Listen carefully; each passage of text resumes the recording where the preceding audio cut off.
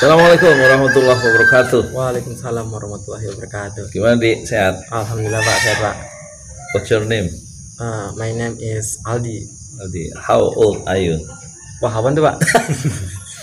Umur umur berapa? Hah? Umur ente berapa? Uh, anak 17. Eh Pak, 17 tahun. Iya. Oh. Kalau bahasa Inggrisnya itu apa Pak? Uh, I am uh, 17 years old. 17 years. Seven, 17, 17 17 years, years years old. years old. Nah, 17 years old. Ane umurnya 17 coba. Tadi pertanyaan, how old are you? Berapa umur ente maksudnya gitu. Hmm.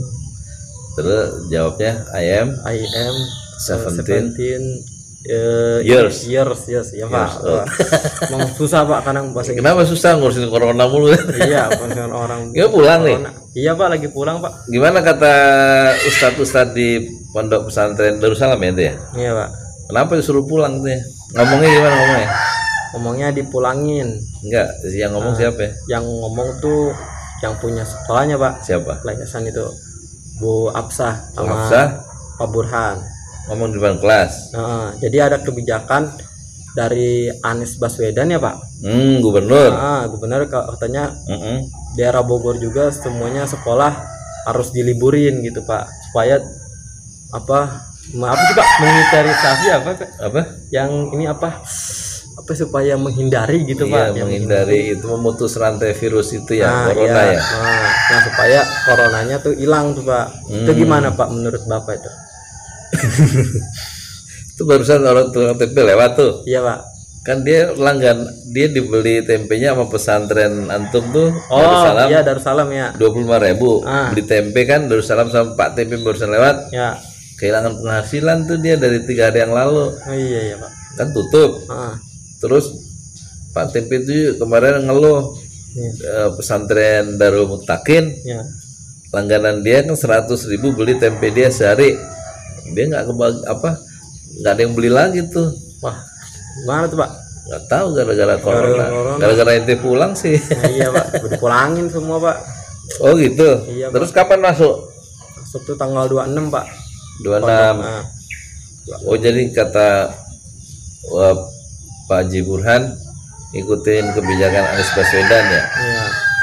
sekolah dipulangin Ah, kalau dipulangin. itu ngomong apa lagi dia Ya ngomong gitu aja Pak supaya terhindar dari corona Pak. corona apa sih Iya. corona ngerti nggak Corona tuh dalam bahasa Arab itu mahkota Pak. kenapa dihindari mahkota Ah ya Pak. Mungkin ininya apa virusnya emang mirip kayak mahkota gitu Pak. oh gitu itu makin canggih aja sejak pesantren udah berapa lama di pesantren Hah? udah berapa bulan Wah baru berapa bulan ya? Saya juga nggak tahu Pak. lo bulan apa itu masuk Bulan lupa pas iya lupa Pak. masih muda itu itu masih muda lupa apalagi aneh udah tua iya sama-sama Pak. Gitu Pak. Hmm, terus gitu apaan nggak jelas itu Maksudnya begitu sejarahnya saya dipulangin gitu Pak. sejarah itu mau balik lagi nggak pesantren Ma mau Pak. tanggal berapa katanya Tanggal 21 sampai 23 Pak. 21 sampai Ya, 21 apaan 21 Maret iya bulan ini. ya kan belum 14 hari Tapi suruh jaga pondok Pak.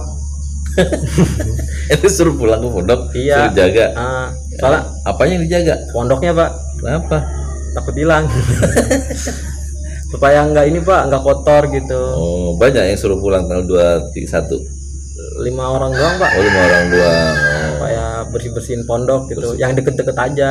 Yang Yang di- jauh-jauh mah enggak Pak. dekat, dekat parung nih Iya gitu. Iya Pak. terus selama oh iya kat, tadi antum bilang Pak Haji Burhan pesantren Darussalam Nah, ngirim apa ya?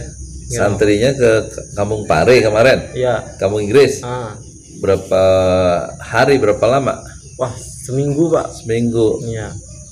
Itu pimpinannya ikut juga ke Pare Ikut Pak. Bu Absanya. Bu Hafsah kepala sekolahnya. Iya.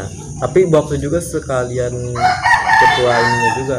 itu apa? Apa sih namanya? Yayasan. Pak Haji Burhan Hmm, Pak Haji Burhan. ikut ke Kampung Inggris kalian? Iya. ngapain dia? Belajar bahasa Inggris pak. Masa belajar masak? Seminggu seminggu mah jalan-jalan kali ya? Iya. kenapa nggak ketemu saya di sana? Kalau Desember ya? Iya pak. Desember kan saya ada di sana ya pas liburan sekolah ya? Iya pak. Saya lihat banyak tuh sekolah-sekolah di Jakarta Al Azhar pada ke Pare tuh. Liburan kemarin penuh. Liburan banyak orang-orang baru gitu kan kelihatan banyak apa sepeda-sepeda disewa terus banyak orang naik sepeda tuh. Kadang saya lihat anak-anak ABG tuh ya mungkin juga sebagian orang Jakarta kan pakai sepeda, pakai sepeda sampai malam sampai jam 11 iya. Kelihatan kalau orang-orang kota masuk desa kan begitu. Iya. kemarin juga teman saya keliling-keliling kota Pare pak. Naik sepeda. Siapa? Teman saya. Itu yang Yang ikut Pare. ke sana? ah keliling. Katanya. Namanya siapa? Banyak pak. Dia cerita? Iya pak. Jadi dia tuh ke Pare tuh ngelilingin kota Pare tuh naik sepeda. Hmm. sore-sore. Oh. katanya katanya enak indah katanya. Nggak pengen pulang katanya dari Pare murah-murah lagi jajanannya pak. Oh iya kan murah buat jagi. Iya. Persoalan orang belajar ke Pare itu satu pak Kita khawatir dia nggak belajar bahasa Inggris sono. oh Makan mulu murah soalnya murah makan ya, sono. Iya. iya pak Saya lihat anak-anak yang kalau liburan atau anak-anak kursus tuh kerjanya makan dulu. Makan ngumpul. Murah soalnya makanannya. Wis murah mantep pak itu Mantep. makanan apa aja tuh pak yang murah pak Ya standar lah kayak makanan apa kalau di sana ada pecel ya. sayur, ya nasi uduk, ada juga tuh nasi uduk ya. Di dekat BEC, dekat HEC 2 tuh. Hmm, dan gorengan murah. Murah. Murah. Jadi 6000 tuh udah kenyang 6000 di iya. Apalagi 10.000 jarang yang makan lebih dari 10.000 karena udah kenyang sih. Kalau umumnya ya. iya murah murah semua wah Pare ah jadi sebenarnya bu- bukan kampung Inggris tuh sebenarnya. Kampung apa pak? Kampung makanan murah oh iya pak. Kampung makan murah eh Murah. murah, tadi saya bilang apa pak? Nggak tahu. Terus aduh. eh, kak temen ente waktu di Pare ngomong apa cerita apa coba cerita ente ngomong apa kayak dia? gitu, Pak. Jadi siapa dia namanya? Banyak pak. Ada campuran. Enggak yang cerita sepeda tuh loh. yang cerita sepeda tuh Si siapa ya? Namanya tuh ada Kak Aska Aska kelas berapa? kelas 3 3 SMA Hmm, ngapain dia bilang nyewa sepedanya? Hmm, jadi dia keliling kota Pare Berapa nyewa sepedanya? wah kurang tahu pak Ah, terus? dia cuma bilang kayak gitu doang Terus? terus habis itu ngeliat kota Pare terus subuhnya habis subuh kayak belajar apa ya namanya ya yang kelas-kelas yang itu namanya morning class ya pak Oh, morning class. terus habis Kata itu- dia. ah, Terus? terus eh, paginya belajar lagi siangnya belajar lagi sorenya belajar lagi malamnya belajar lagi terus Banyak lima kali. iya pak sampai sampai besoknya lagi belajar terus apa sih namanya yang ini pak apa ya namanya Game, main game. Hah? Main game enggak? bukan pak apa sih namanya yang grammar gamer gitu pak Grammar. Oh, nahu sorof cek Nah, orang iya. Maya. iya Hmm, katanya ah di sono katanya dijelasin ada ininya ada coachnya katanya kos Mm-mm. campnya. apa namanya gurunya pak gurunya Oh, tutornya. iya Oh, terus mereka cerita apa? Kesannya dari ka- kampung Inggris sampai ke teman-teman ente di pesantren. katanya mau kagak bisa pulang gitu apa kagak mau pulang katanya pak kagak bisa pulang aja. Kenapa?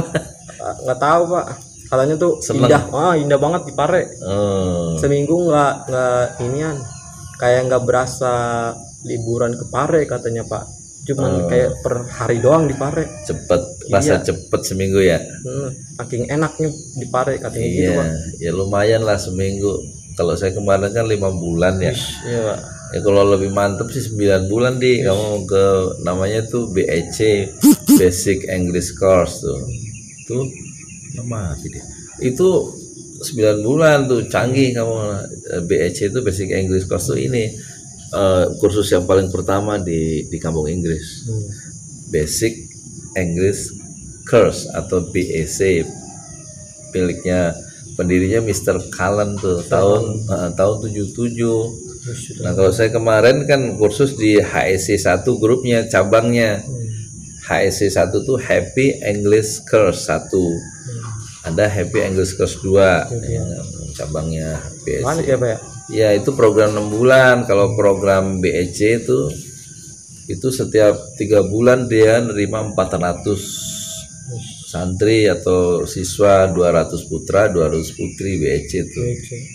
9 bulan programnya 6 bulan sudah bisa pulang. Mati dik Wah, gimana, Pak? kepenuhan dik